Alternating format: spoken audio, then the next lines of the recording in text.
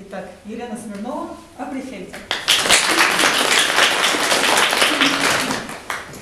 Здравствуйте, здравствуйте. Неожиданно для праздников много народу собралось, но мы так и представляли, что захочется уже встретиться с друзьями и коллегами. Поэтому я решила сделать праздничную встречу о Префельте, потому что уже, мне кажется, мы делаем из него делаем. Каждый месяц много лет. Вот, и тем не менее задаются вопросы, что я не знаю, что это за волшебный материал, как с ним работать, для чего он создан. Это как, это войлоки я бы назвала отдельный вид искусства, работа с префельтом, потому что его эстетика немножко другая. Когда мы раскладываем раскладочку, с этим надо повозиться, волшебный войлок, кучеряшки, фактуры – это одно. Настает другой момент, когда хочется сделать идеально ровное полотно, идеально ровный какой-то палантин, как это Иностранцы не любят говорить, это не видно, что это ручная работа. Да, настолько шикарно, что это непонятно, ручная работа это уже или нет. Создаются вещи так, что люди говорят, да, непонятно, как ты это сделала, неужели это все руками. Это все руками, это все очень просто. Я здесь уже вижу вещи жизненные, носибельные, они вполне пригодные для жизни. Поэтому префект – это отдельная моя любовь. Это не все, что я умею, но все секреты, которые я выудила из него, то есть они идут мне только лишь на пользу. Итак, начнем с того, что такое префект. Префект – это та же самая сырая шерстка, как бы хочется сказать. Обычная шерстка, начесанная на кардочесальной машинке. Никакой первоначальной обработки с ней не проведено. Просто взяли шерсть, начесали, получилось ровное, ровное, идеальное полотно. Это то, что нас лишает необходимости делать многочасовую вот эту раскладку руками. Плюс ко всему качественное полотно и качественное изделие получается другим, потому что даже пытались кто-то приходить, я сама сваляю префей, нет. Но он ведет себя по-другому, и мы оставим все-таки вот раскладку раскладки, а вот это возьмем как отдельный вид творчества. Я люблю и много лет работаю, и много лет работы с мастер-классом, и перевидев много всяких других вещей, то есть я лично в руки ничего другого не брала. Но приходят ученики и приносят всяких новых других во всех местах купленных префельтов. И результаты получаются совершенно разными. Поэтому не то, чтобы это моя личная заинтересованность, это дружба с этим материалом. Наш префельт един, немецкий, шириной метр двадцать. Он как опознавательный знак, вот насколько я понимаю, не так уж много э, видов префельта в нашей стране, то есть если можно там что-то еще найти, но если предлагают вам что-то там фирмы идем другого размера, нет, такого не бывает. И как опознавательный знак, вот он такой и есть. Он за все эти годы показал себя с лучшей стороны. У него нет ни лицевой, ни изнаночной стороны. Самое главное его качество, у него нет ни долевой, ни поперечной. Он как-то так начесан дивным образом, что он садится равномерно совершенно во все стороны. Потому что бывали случаи, все, я насмотрелась и всего уже. Приносят какой-то другой префельт, я буду делать это, а мы уже краим, исходя из расслабленности того, что нам материал позволяет, вот так вот, вот так вот. То есть я делаю выкройки из своей одежды, чтобы не было никаких отходов. И мы краим поперек, платье получается длинное, узкое, и жакет получается коротким и широким. Любой другой префельт нужно тестировать, я не могу сказать повально, что все они плохие, то есть, но получаются неприятности. И тестировать это не очень просто, потому что мы разговаривали с девочками, я делаю шапочки, я делаю цветочки, ничего у меня не кривится. Когда не кривится маленький цветочек, это одно, а когда кривится большое изделие и масштабах двух метров, это уже заметно, это другое. Поэтому я ни к чему больше даже руку не прикладываю, потому что от добра добра я никогда не ищу.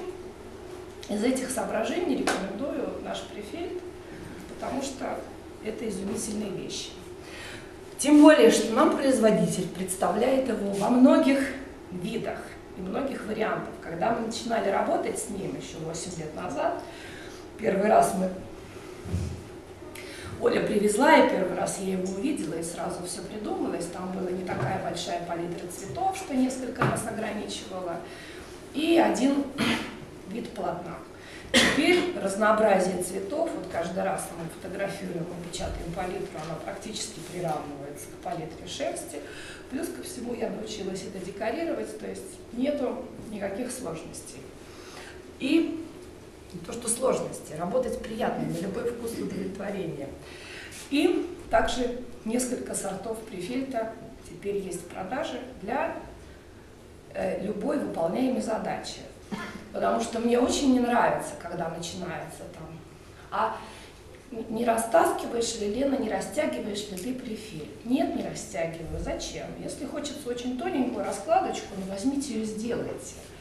А когда нам дан в руки дорогой, интеллигентный, хороший материал, зачем его портить? Если я хочу сделать что-то потоньше, есть теперь префильт потоньше. Если есть префильт потолще, то потолще. То есть я его не растягиваю, я над ним не издеваюсь, я только лишь беру и его, эту красоту, это качественное полотно декорирую любым способом. Либо ажурными делами, либо какими-то волокнами. В общем, беру от него все лучшее, то, что ему ожидать. Префильт, как бы основной и самый первый, первого класса, его плотность, его разность измеряется граммами шерсти на погонный метр. То есть вот он, чисто шерстяной префильтик, в нем 140 грамм на погонный метр шерсти.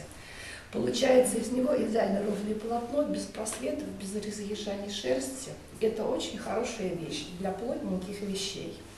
Я из него делала в свое время прямо пиджачки, которые там были следы на воде, полусшитые, правда, в силу того, что полотно прямое.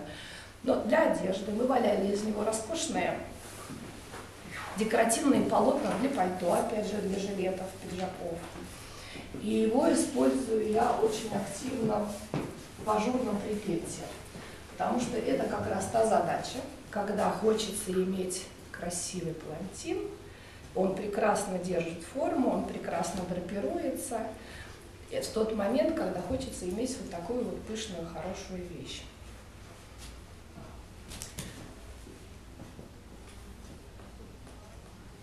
Да.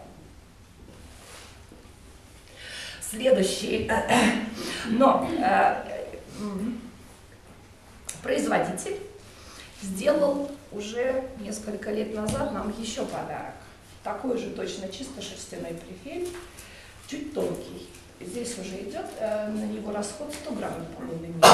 И он, соответственно, уже может использоваться для каких-то палантинов, для более сильной э, для более сильного декорирования, ну, либо для каких-то уже там вещей, которые вот там, чтобы не делить и не, не портить хороший префиль. Вот он уже у нас есть. Еще следующий мой любимый э, вид префельта, префельт шелка. Он тоненький, он изумительной красоты. С ним работать чуть сложнее, но как бы не сложнее, а немножко нужно больше сноровки для него. Поэтому на мастер-классах, на занятиях мы тренируемся на шерстяном префельте. А в остальные моменты используем префельт шелка. 100 грамм на погонный метр, тоненький. В его состав входит 20% шелка, уже начесанная. Бывает он разный. Мой любимый префельт, он, более универсален для тех задач, которые мы себе ставим и которые мы выполняем. Вот этот префельт, несколько его видов. Черная шерстка, цветной шелк. Бывает, ну, черная шерстка с черным шелком, то есть они в разных видах. Но вот это, вот здесь, вот этот цвет создается цветными волокнами. Если работать с ним в чистом виде, как бы чтобы было видно, в конечном результате он разбивается на фракции, то есть отдельно видно шерстку, отдельно видно шелк, создается цвет и очень красивая, роскошная фактура. И этот префельт я уже использую в своих работах когда хочется длинное, большое, очень пластичное полотно. Это платье и юбки. Шерстки здесь очень мало, много шелка, плюс ко всему мы его декорируем активно очень шелком. И получается огромная юбка, не свойственная войлоку, вот она мягкая и пластичная, и платье, чтобы под колоколом не стояло. То есть он у меня идет для других вещей, и он настолько же прекрасен. И вот такие вот цветные, тоже прифельты. Красный шелк с красной шерстью. С ними работать небольшая разница, как бы в плане декора, когда уже получается готовое изделие. Смысл сваливания шерсти э, мы накладываем сверху шелк, шерстка выходит и удерживает наш весь декор, получается валеное красивое изделие. Когда я вот это вот черная шерсть, цветной шелк, декорирую, валяем изделие, когда мы выкладываем этот декор, получается очень ярко, я говорю, не бойтесь, потому что выходит черная шерстка, и все это слегка нейтрализует. Нейтральное изделие а, немножко сероватой дымкой, то есть они получаются очень яркие, но без коррекции как бы, цвета, то есть мы примерно представляем какой-то результат. Если уже мы возьмем вот такую вот префельд составом цветной шерсти, декорировать его надо будет с учетом того, что выйдет красная шерстка, все изделие покроется красным облачком. То есть, когда я по большому счету говорю, мы покупаем префельд любого цвета, потому что его не будет видно, очень густой здесь слой шелка, то это все-таки больше касается вот этого. Прикиньте, здесь рисунок более подконтрольный. Это вот изделие просто надо учитывать, что оно приобретет несколько оттенок предлагаемой шерсти. Прифельд, а, есть у него как бы плюсы, недостатки, не то чтобы недостатки, а несколько качеств, которых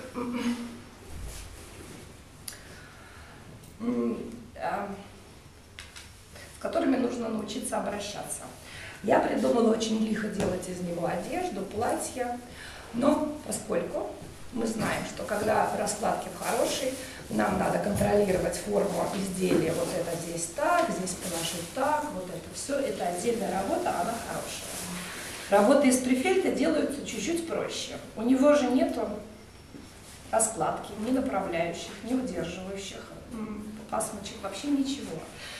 Поэтому разговор о том, что я хочу очень приталенное платье, чтобы у меня в груди вот так вот все было, и чтобы тут еще было так, нет. Он нам, как любимый человек, нам не может этого дать, и мы не будем этого требовать. То есть будем принимать его таким, какой он есть. Поэтому модели мои из префельта крайне простые. То есть платье прямого силуэта, юбочки достаточно прямого силуэта, палантины какие-то прямые, жакеты даже, которые мы делаем ажурные, они и то носят форму свободного украшения. Ни о какой приталенности, в общем-то, большой речи быть не может, потому что мы не, не можем этим управлять. Он прекрасно садится, то есть отдельно доваливаются краешки, когда мы валяем готовые изделия, где-то надо подтянуть, он до какой-то степени подтянется, где-то надо подвалять, он до какой-то степени подтянется. То есть на форму это прекрасно садится, но это все равно имеет некоторое э, название form.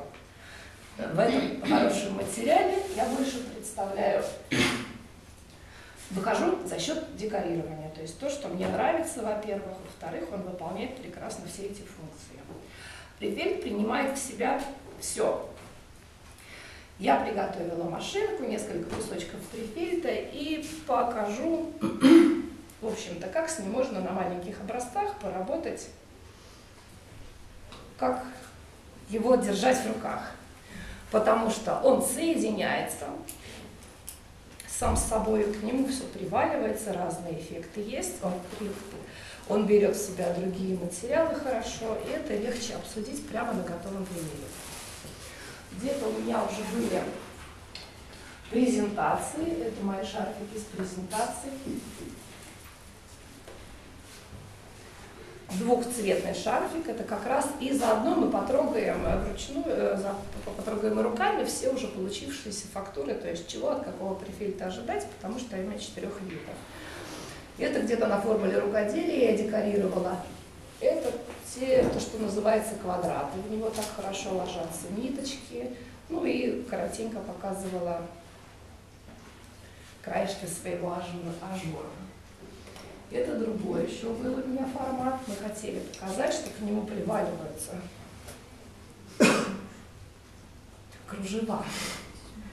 Это были шерстяные кружева. Вот он такой вот получается мягкий, очень ровный. Приятно на него смотреть на просвет, что получается хорошее ровное полотно. Усаживается этот материал. По большому счету это шерсть. Это обычная нормальная шерсть. Если мы разговариваем вот об этом преферите, который чисто шерстяной, лучше брать, конечно, коэффициенты усадки любимые для плотных изделий или для полотен, как там, я люблю 1,6, 1,7, сильненько усадить. Но бывало, были показательные истории, когда заказали мне пиджак 58 размера, дама была необъективная к себе, была на самом деле гораздо большего размера. Сделка не состоялась, и этот жакет, в общем-то, мне тоже не нужен. Поэтому я его докатала до 50-го универсального размера на жилет, на, этот, на манекен посадила. И потом он понравился моей худенькой подружке 46 размера. То есть, говорит, прямо вот он мне нужен.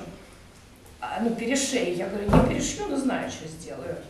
Я его еще укатала, он получился очень-очень прочный. Он получился материал легкий, воздушный, но вот как тонкий фарфор китайский, идеально держит форму, идеально принимает в себя декор.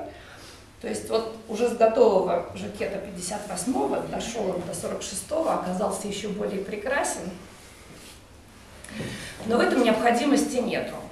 А в других же вариантах моих, когда я использую шелковый периферит в платьях, юбках с большим количеством шелковых волокон, либо в состоянии ажурного припельта получается коэффициент усадки 1,3, то есть совсем маленький, да, ведение до готового изделия. По такой причине шерсти здесь мало, шелка много уже в префельте. Мы еще кладем большой шелковый слой декорированный сверху. Хорошо это усаживаем, поэтому вот шерсть больше, чем 1,3, в принципе, она не может это усадить и не надо. Получается роскошное полотно с большим содержанием шелка, богатая, пластичная, красивая, шерсть у нас только держит это все. Коэффициент 1,3 говорит уже полностью о готовом полотне. Это плюс ко всему приятно в работе. Но эти коэффициенты я объясняю только лишь с точки зрения моих случаев и с точки зрения ну, каждого отдельного случая, как мы его используем. В том числе и в раскладке это приятно. Мы за один день делаем совершенно роскошную юбку. Все, кто приходит первый раз, и я в том числе, хочется новое платье, разложила, сделала, завтра пошла. То есть это быстро. Это лишает нас необходимости длительной раскладки. В технике ажурного префельта то же самое, мы считаем коэффициент усадки 1,3. Девочки вчера такие, мне кажется, он перевален. Я говорю, нормально, нормально. Потому что шерсть садится, узенькая становится, но за счет ажура он растягивается. То есть, по большому счету, усадка у шерсти хорошая, а у изделия получается общая. То есть вот это все, когда у меня там трехмерные дела в голове происходят, это село, это подрастянулось, ага, получается столько. Вот то в этих случаях я использую даже небольшие усадки, коэффициент 1,3, и получаются роскошные-роскошные изделия. Сейчас. Вот,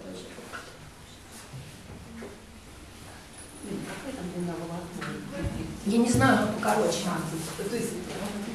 Ну вот мы вот этих данных фабрика не представляет, они дают даже... Сейчас, ну это так. Вопрос из зала. Какая длина волокна в префильте? Я не знаю, какая длина волокна в префильте, но она значительно короче, чем обычная шерстка. То есть, если вот я его смотрела и раздирала, там, да, небольшие волокна. Но фабричные, на всякий случай, европейские стандарты требуют э, подстраховки всякой. Они позиционируют, что префиль состоит из шерсти 18-19 микронных, на самом деле ощущение, что все-таки это 16, даже вот там 16-17, она тоньше, чем обычная шерсть. Я думаю, что это подстраховка, потому что заметно, что полотно значительно нежнее и мягче.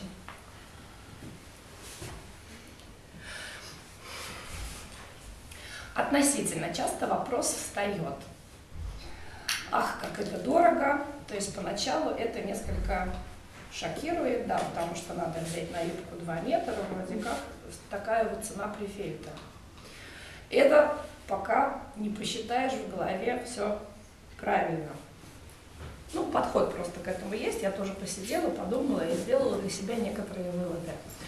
Префельт, как мы выяснили, метр двадцать шириной, метр длиной, он имеет э, качественные характеристики, 140 граммов шерсти на погодный метр. И если просто вот это пересчесть на стоимость шерсти, которая продается в отдельных пасмах, в общем-то, выйдет практически ну, две трети стоимости шерсти. И там рублей 200-300 остается на качество полотна или вот на работу, труд, который тебе надо разложить вот эти два метра. Потому что сколько мы будем эту юбку раскладывать, а вот этот вот весь хвостик, остаток можно списать на свои трудозатраты. Поэтому, когда я вот так вот говорю девчонкам, я говорю, это просто шерсть нужно купить, это уже деньги. И плюс 300-400 рублей, вот эта вот работа стоит твоя, вот моя стоит. Ну, день потраченный, все потраченное. Поэтому, если так относиться к этому материалу, что, собственно, и является правдой, то становится как бы легче и понятнее. Плюс ко всему я знаю, что вот там из двух метров у меня получится огромная юбка, которую руками я до сих пор никогда ну, не осмеливалась сделать. Я не настолько старательная. Вопросы из зала? Вы в рулоне катаете, да? А? В рулоне катаете? Нет, ни в коем случае. Это очень-очень нежное полотно, я его только кидаю, кидаю, влажу.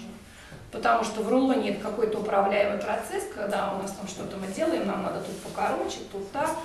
500 движений в одну сторону, 500 в другую, мне это ни к чему не надо. Это безумно легкий материал. Я сначала хорошо прибиваю шлифмашинкой эти волокна, и потом чпок-чпок, он сам садится во все стороны правильно. Потому что я выкройку делаю уже знаю как, она у меня простая и равномерная. Мои объемы, моя длина, все.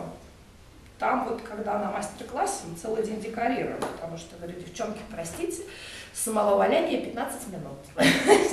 Мастер-класс совсем ну, получается не по валянию. Ну, работа с материалом очень легкая. Можно вопрос? Обработка проймы, горловины. Идет дополнительная пасма? Нет, пасмы в моих случаях класть некуда, во-первых. Состояние ажурного префельта, потому что мы подваляли, ажур, вообще туда некуда класть ни волокон, ничего. В данном случае я вот настаиваю, говорю, говорим мы об ажуре, значит делаем ажур. То шелка сюда навалить, и посложнее, можно носиться дома, делать как-то это. Но об одной работе все нельзя сказать. Здесь как раз это та одна из сложностей, что у него нет направляющих пасм. То есть ну, я туда ничего отдельно не накладываю. Я говорю, что он потом лепится просто как пластилинчик, как сказочка. Он настолько мокренький, эластичный, Поэтому талию мы отдельно две минуты вот так потрем, талия у нас есть. А все краешки или пройма, она поначалу тоже растянутая, отдельно просто я ее беру, и мы видим на занятиях, как вот это вот за две минуты она садится моментально. То есть префельтик валяем аккуратно. Если говорю, я там покидали 100 раз, потом 50, потом еще 20, ой, и еще 5. Прямо за та Сколько считаешь? Я не считаю, я просила 5. И получается у нас курточка на собачку. Он садится настолько прекрасно и роскошно, и надо иметь к нему ну, какое-то чутье. Валять его бережно. Поэтому, когда мы вот так вот делаем, я говорю, вот это надо сделать две минуты. Сейчас проймочка сядет, ты посмотришь, даже две минуты. Вот две минуты. Нет, две минуты не прошло, хлоп, у нас готовая пройма.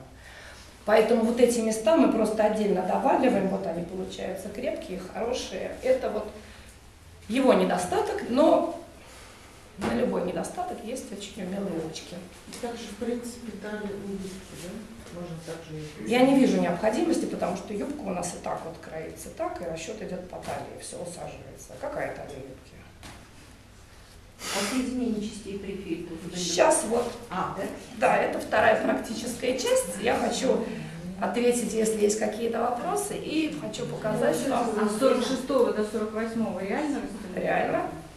А вот Нет. чем, чем это? Это платьице было, если вы знаете его, на модели, на всех фотографиях. Мне надоело, что оно у меня почему-то самые красивые платья никто не покупает. Я его растянула на себя. То есть это туничка, я могу ее носить с этими джинсиками, растянула на себя. Но так делать не стоит с совсем маленького на совсем большой. Но это показатель к тому, что на пару размеров лучше его сушить на манекене, поскольку объяснили, что самый бесформенный. Тут надо потянуть, тут это, то, конечно, когда он высыхает на манекене, он засыхает. Идеальная форма. Лена, а вот э, с декорированием есть э, вот префикс, который с шелком. Да. К нему можно приваливать вискозу или только шелк? Посудите сами. Вы покупаете дорогой префиль с шелком, с какой-то целью поиметь э, пластичное струящееся полотно. Вискоза, как мы знаем, она у нас более грубая, тяжелая, дешевая жесткая. То какой же смысл нам сажать на нежнейшее полотно с шелком, сверху заляпывать его вискозой? Теоретически можно все, просто когда я что-то делаю, я это могу объяснить. С какой целью вискоза? Не хватает цветов декора? 80 цветов шел- шелка, тусы в шкатулочке есть. Если уж мы беремся работать шелком, давайте себе сделаем шелком. Если мы хотим плотненькую форму или плотненькое полотно для пальто, нас, конечно, в этот момент интересует плотность полотна, крепость, чтобы оно держало форму. Здесь по определению, конечно же, вискоза. Можно использовать все, только давайте искать логику. Все, что я делаю, я могу объяснить. Ну, даже вот мы знаем, да, когда вот я это делаю, я говорю, я это делаю поэтому. Вам не нужно запоминать, как я это делаю, вам нужно только запомнить, почему я это делаю, и сразу становится легче. Логично. Поэтому берет он в себя все, кудри, вискозу, но с какой целью, в какой момент мы работаем, чем мы хотим достичь. Лена, а если альпака приваливается, она не вылезает из префекта? Ну там снутри кучеряшки видно, Да? А сверху-то, да, вот на кучеряшки выкладываете, он как основа прекрасно работает. То есть никаких других изъянов в нем нету. Кучеряшками был у меня вот этот шемпер, про который я рассказывала, усадила до 56-го.